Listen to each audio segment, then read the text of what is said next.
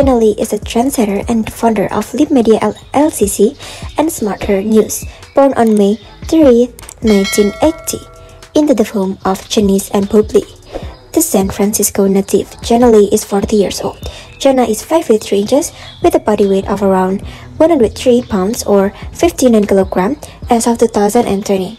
Her bust size is 35 inches or 91 centimeter, with waist size 25 inches or 64 centimeter, and hip size 35 inches or 91 centimeter, and dress size 6 US. She grew up in San Francisco in a home of athletes. Her brother, Zach Lee, is a professional quarterback, while her father is a former National Football League player who played as a quarterback also.